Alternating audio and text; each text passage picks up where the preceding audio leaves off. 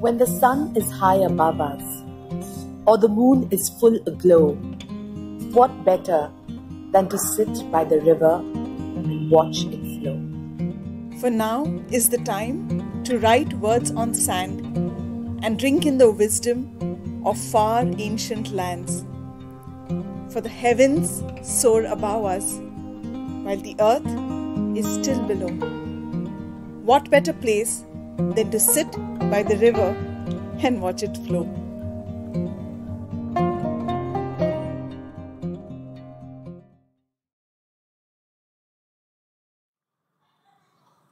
Draupadi looked at that delicious lone fruit which was in that on the jambu tree. She plucked it and was about to eat it when the tree spoke. Hey Draupadi, that was for the rishi who's doing his penance behind me. For the past 12 years he has been doing penance and today is the last day and he's supposed to eat that fruit. Now you have contaminated it. Draupadi ran home terrified. She brought back Bhima and Arjuna and requested both of them to fix the fruit back. They were helpless. They said, We can't do this. The tree spoke and said, A chaste woman can fix it back. Draupadi immediately said, I am chaste. Yes, I have five husbands, but one person for one year. The tree asked, Don't you have any other person in your mind? Of course not, said Draupadi. Maybe as Krishna, but he's like my friend, nothing more. The tree said, Think again. Draupadi looked at the tree and put her head down. Yes. She remembered the day of her Swayamvara, where she saw this great warrior in shining armor, ears with shining jewels, coming for the Swayamvara. Her heart flipped her stomach fluttered. But no, I can't. I shouldn't. I am the great, beautiful Draupadi, the daughter of the great Drupada. How can I marry him if he wins in the Swayamvara? And when that great warrior came and picked up that bow, she said, Stop! You are of lower caste. I can't marry you.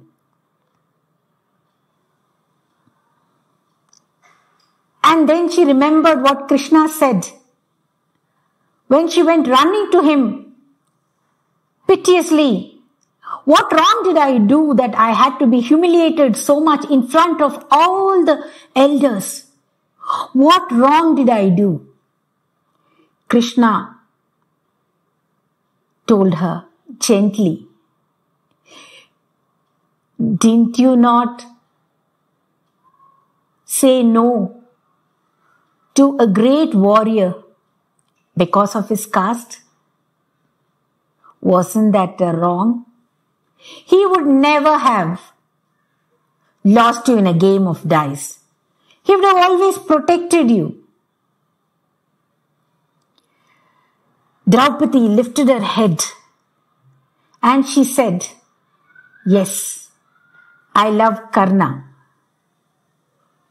He would never have lost me in a game of dice. He would have always protected me. Her heart felt light now. Her secret was out. Though she knew, both Bhima and Arjuna were shocked and furious. But she felt light. The tree said, now you try fixing the fruit back onto the tree. And she fixed it. The rishi finished his penance, ate that fruit, and blessed them all. This is a story I read from the book Jaya by Devdutt Pattanaik. He says that this is the folk tale or folklore of Maharashtra. And they say that the jambu, jambu fruit, which I know as jamun, when you eat it, you can never hide it. Your tongue will give it away. Thank you for this opportunity by the river. This is Parvathy Eswaran. Hello everyone, my name is Adyasha Nandini and today I'll be narrating a story that I have penned. The title of my short story is Testosterone in a Sari. As the warm breeze whispered through the chimes hanging from the balcony ceiling, taking her quilt off, Lakshmi galloped to the lavatory. Apparelled in an unadorned chiffon sari with a thin border, Lakshmi adorned her lips with a dark lip shade and put vermilion at the parting of her hair. Sweeping her hair into a neat bun at the crown of her head, Lakshmi hurried to Gauri's room and putting her long bony fingers on Gauri's forehead, she muffled, Gauri, उठ जाओ गौरी उठ जाओ वरना school के लिए late हो जाओगी As she hung back to take her commodious white blanket off, Lakshmi sang Gauri her favorite lullaby, swaddling her in her arms. Rubbing her eyes and yawning constantly, gaping her mouth, Gauri said, It's so soothing, Ma. Don't stop singing, please tickling her nonchalantly under her ears and grinning like a Cheshire cat. Lakshmi said, Gauri जल्दी से fresh हो जा वरना Bournvita ठंडा हो जाएगा okay माँ I'll be there in 10 minutes. as Gauri packed her school bag, looking into her timetable, Lakshmi fed her two large sized aloo parathas with little extra butter. Gulping the last of her Bournvita and passing her tongue over her upper lip, Gauri said, Let's go, Ma, or else we will get late. Clasping her hand in Lakshmi's, Gauri walked to school neatly dressed with two ponytails. Dropping her off at school, Lakshmi said, Bye Gauri, man laga ke padhai karna. Wrapping her arms around Lakshmi's waist and beaming as happy as a lark, Gauri said, Bye ma, sham ko milte hain. As Lakshmi's high heels clattered down the road, young lads mocked at her saying, देख भाई हिजरा है श्याम भैया देखो देखो किन्नर जा रही है किन्नर An ocean of laughter surrounded them when they saw her passing by them. The mocks of the young lads perforated her, but without uttering a single word, she traded away with an enduring grin on her face. As she was about to fall upon a plump cheeked little girl leaking a popsicle, her mother dragged her away from Lakshmi, looking straight into her brown beady eyes with her dark malevolent ones. Lowering her gaze, Lakshmi walked away quietly. On reaching the NGO, she rushed to her cabin and after completing her paperwork, she headed in the direction of the hall where hundreds of orphaned and abandoned girl children were taught for free. Seeing Lakshmi at the door of the hall, a young girl stood up and as her eyes said elation, she asked, Lakshmi ai, Lakshmi kathak kab sikhaoge? Looking into her virtuous dark brown eyes, Lakshmi replied, Gayatri जितनी जल्दी ये questions complete करोगे मैं आपको Kathak सिखाऊँगी Couple of hours later, Lakshmi was seen guiding her hands, sinking to the music of sarangi and manjira. Untying her anklet bells, she said, आज के लिए बस इतना ही कल शाम को मिलते हैं Bidding them goodbye, Lakshmi left for her home. As she waved her hand at a tempo, the tempo driver drove away lowering his brows and drawing them together to form a V. Unable to hire a public transport, Lakshmi plodded to her house, weary and exhausted. Striding across the road, Lakshmi came across a gang of boys poking fun at a teenage girl.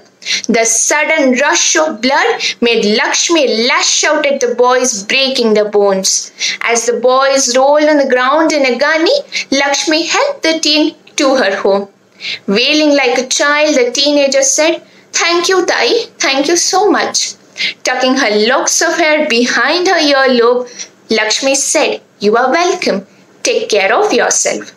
As the moon rose and the night air smelled honeysuckle, pulsed with the sound of the crickets, plumping herself down on one of the benches in a vibrant street of Mumbai, Lakshmi was taken a trip down her memory lane.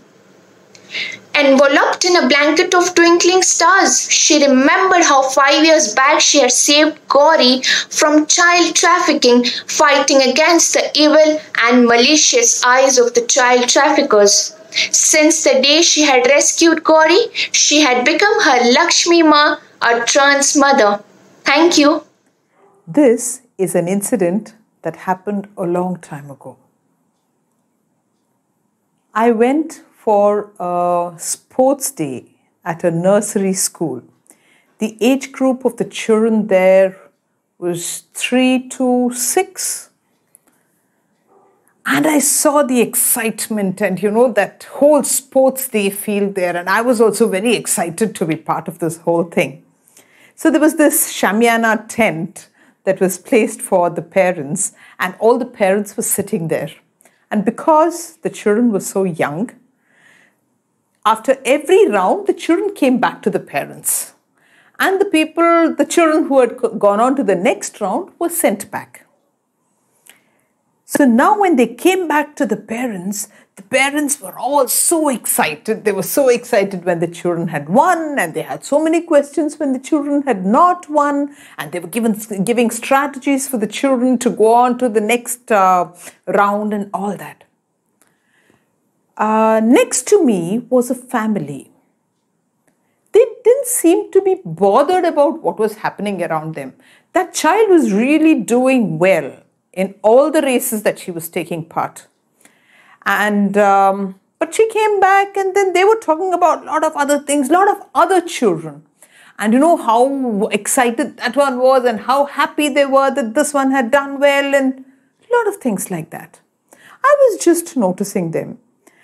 And then it was time for this child to go for her final round in one of the races. Both the parents said, Have fun, baby. And that's it. Ruffled her um, hair and sent her. And she just waved and went.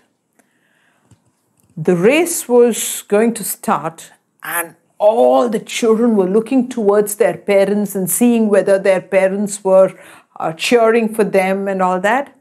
This child had found something really interesting on the ground and she was busy picking it or digging it. I don't know what she was doing. The race was called. Everybody started running. And this child, like I told you, was really good. She was way ahead of the rest. She was really running fast. Suddenly she looked back and she slowed down just before the finish. She slowed down, allowed the person who was second to finish the race, and then she ran and finished. And she was clapping louder than everybody else. She was so excited. Now, I was, I found this very strange. I was just watching it and climbing up on the second podium was so exciting for her. And she came back after the race. And the parents were so happy, hugged her, kissed her, and said, Baby, did you have fun doing this? and all that. Then, after some time, the mother said, Did you let that other child win? And the child says, Yeah, Mama, you told me to have fun, no? That ba- uh, baby's mother told her you must win the race. So, if she didn't win the race, she would feel sad. And I don't want my friend to be sad. So I thought if she's first and I'm second, both of us can be happy and both of us can go on that stand together, Mama. And the mother just looked at her and said, Looks like you had fun doing that. And the child said, Yeah, Mama, that was so much fun. And there ended the conversation. They started talking about something else. This incident has been fresh in my memory after all these years. I often think about it, I often revisit this scene, and I think a lot about it. What do you think about what happened?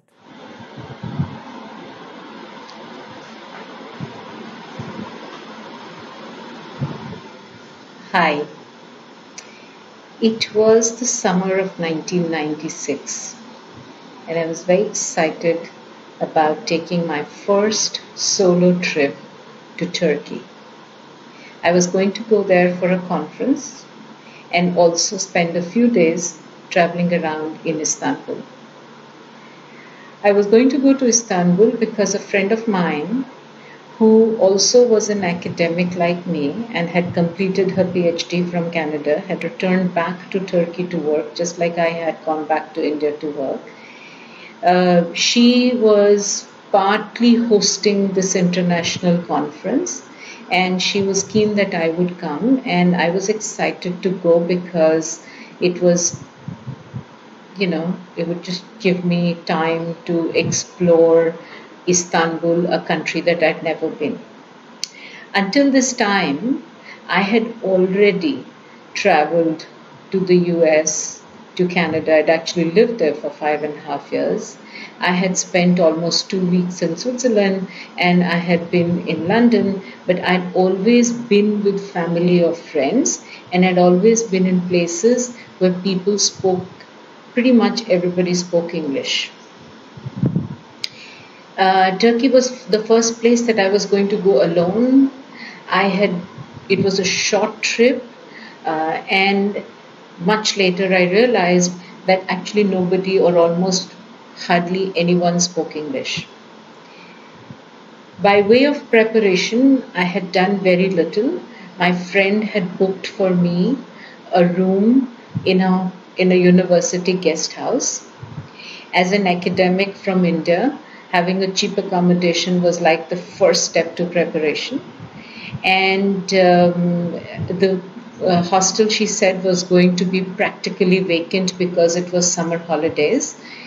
And she would then be there to take care of me and, and show me around. So um, I knew I would have somebody. So I'd photocopied a few pages from the Lonely Planet guide on Istanbul and a number of people who I had mentioned to that I was going to Istanbul said, Oh, you must go to the Blue Mosque and you must roam around in the central market, in the central bazaar of Turkey, of Istanbul. At the uh, bank, I had exchanged money and I was surprised to see some some notes which read millions and lakhs and something like that and i just could not at all understand that money or relate to it. So I put it in an envelope and put it tucked it in the front of my pocket. A few days before I was to go to Turkey, I heard from my friend that she was expecting and there were some complications, and therefore her, her doctor had said that she uh, was advised not to step out of the home and she had to take bed rest. And um, so she was you know, really apologetic, but that was okay. I was very excited and I was like, I would not, you know, it's fine. I'll take care of myself. Um, of course, she gave me her phone number saying that, you know, if you have any need, please call me, uh, and so on and so forth. Anyway, um, reached Istanbul, really excited, got to the hostel, took a cab, got to the hostel, found my room, and next morning I was ready to go explore the city. I uh, found out, took a bus, went to uh, the Blue Mosque, walked around it, spent about a one and a half hour there, just awed by the mosque as well as the uh, the outside of the place. Saw the old aqueduct and walked to the bazaar. Uh, as I walked to the bazaar and as I entered the bazaar, it was a riot of colors and smells and and people all around. It was just fascinating. the blue eyes with the dark blue circle inside, um, hanging all around, carpets and and spices and and sh- small shops where people were eating and talking and so on and so forth. Spent hours just absorbing uh, the sights and the sounds and the beauty uh, and the uh, hustle and bustle I remember um, I walked up to a carpet fellow. I was looking at the carpets. Of course, they were far too expensive for me to buy, but they were just so beautiful silk carpets uh, with some 30 knots or 100 knots per uh, you know square inch. Um, so I'm looking at them and admiring them. And one of the carpet uh, fellows said, "So where are you from?" And of course, this was not in English. You know, we're talking uh, in in the shopkeeper language, uh, shopkeeper customer tourist language, and and I said India, and, and he said, oh India, oh Gandhi and Hema Malini, beautiful women walk, dancing around the trees, uh, and Gandhi peace. Um, these were two associations that uh, I had never put together for India. Of course, Gandhi was a very common association, but Hema Malini, beautiful women dancing around the trees. Um, and, and he went on to talk about uh, uh, Indian movies, and of course, all of this in, um, in me in English and he in Turkish. Um, anyway, walked around and I reached uh, a place where there was food and tea being served. And I'm a sucker for tea. I saw all of these people drinking in uh, beautiful glass, uh, small glass tumblers with a golden edge, uh, something that looked like tea there was also some people calling out chai chai chai and I, I looked around and i couldn't see anything anything chai. I couldn't read the menus. In fact the only um, uh, thing i could see was something that said cay and i didn't know that it was chai uh, but i really wanted chai at that point of time. And i saw these two men sitting at a small shop having um, chai. I walked up to them I pointed out to what they were drinking and I asked them, Where do I get it? Um, they asked, they pointed back to me, they showed me where I could get it, and, and they encouraged me in a non-verbal way to go and get the chai. So I walked up to the counter, I was fumbling with the, the envelope where the money was, and and the person at the counter said no no no payment. Uh, those people already paid. And of course all of this is being said non-verbally. I figured that they had already paid. I got my cup of chai and i went and sat and um, had chai with them. And as i had chai um, you know we exchanged smiles. There was a lot of excitement. We can't speak. There are lots of people who stopped by and and they would have a conversation with these two men, and I would, uh, and they would smile at me, and I would smile back at them, and it was just a very, very beautiful moment. And and at some point they they uh, asked me where I was, and I uh, told them conference. I told them Koch University, the hostel that I was staying in, and and all of that. So I tried communicating with me. They tried communicating with me. Um, and it must have been a half an hour of pure joy, pure um, connection as people, um, uh, you know, meeting each other from different lands, different language. And then suddenly I started to feel afraid. What if these men are just finding out information uh, so that they can follow me? What if is it really safe for me to be sitting here and drinking tea? And there were all these voices inside that were saying, Are you being, how can you be so stupid? How can you be just sitting here and having chai, telling strangers, accepting something from them for no reason? And once that started to dawn on me, I quickly packed my bag and I quickly left them. I said thank you. And I literally ran out of the market and reached, took the bus and reached my hostel. It was almost five by the time I reached my hostel. And as I sat back, and I felt really sad.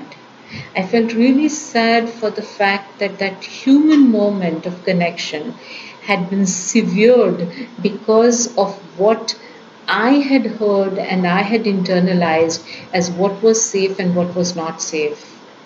And the fact that a woman traveling alone or a woman alone has to worry about her safety. Many years later, I still go to many places that I have no clue about.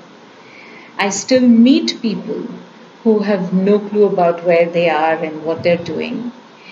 We always connect, we always laugh, we always smile, we always do. And very often I see that fear of meeting strangers, of talking to strangers, of asking help from strangers. It always saddens my heart.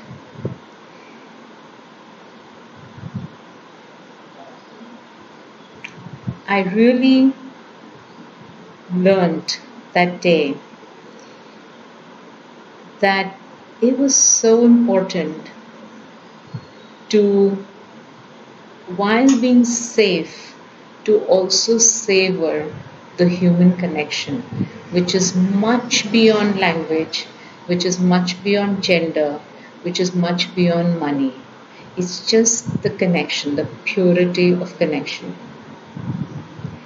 I really, every time I'm able to establish it, irrespective of age, connection, I have something that gets freed in me. Thank you.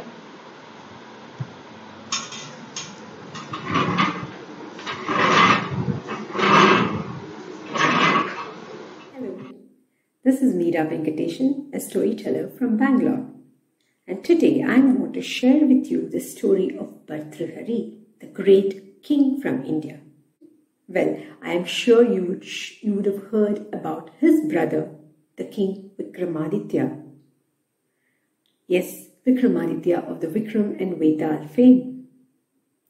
Now, Bhartrihari was Vikramaditya's elder brother. In fact, he became the king after his father, Samudragupta's death. He was a very just king. He was a good king. He was also a very accomplished poet. But above all this, he had another claim to fame, which was the fact that he was an insatiable lover. He had hundred wives, and there was nothing he wanted more in his life than to enjoy their pleasure, enjoy their company forever. In fact, he was the author of a very beautiful set of hundred verses called Shringara Shataka, the hundred verses of romance and love. Now, the story would not have taken off from there that Brahmin hadn't visit, visited the kingdom.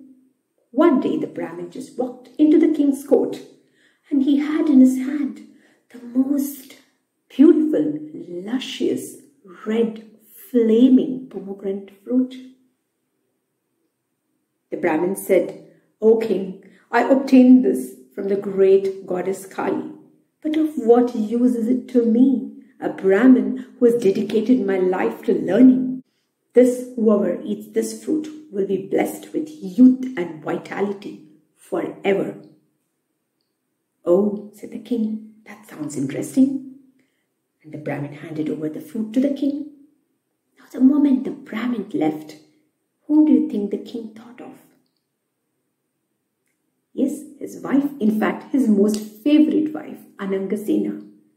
What more would he want in life than for her to be young and beautiful forever so that he could enjoy her company?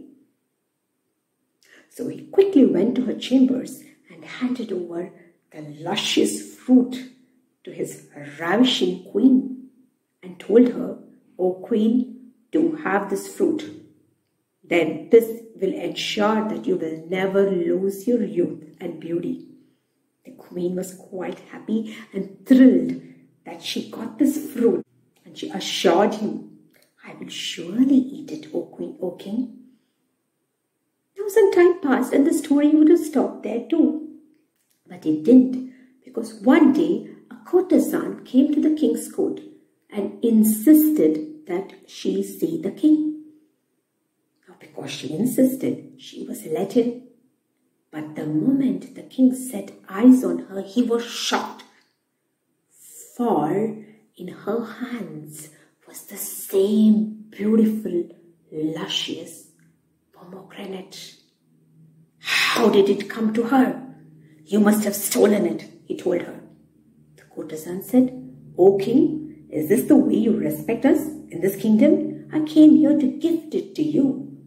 This was given to me by my lover, wanted me to be young forever and beautiful. But I thought, of what use is it that I be young and beautiful? It is the king of the country who has the right to have this fruit. So I ran from my house as fast as I could so that I could give it to you. Well, said the king, who is your lover? Of course, your charioteer. Don't you know him? I am in love with him. Oh, said the king. The charioteer was summoned. How did you get the fruit? He was questioned. The charioteer, after a lot of questioning and effort, admitted that he got the fruit from Anangasena, the king's favorite queen. The king boiled in anger. This could not happen. Well, everyone would have been beheaded, but at that time the king decided all this was a maya, an illusion, and he decided to give up everything.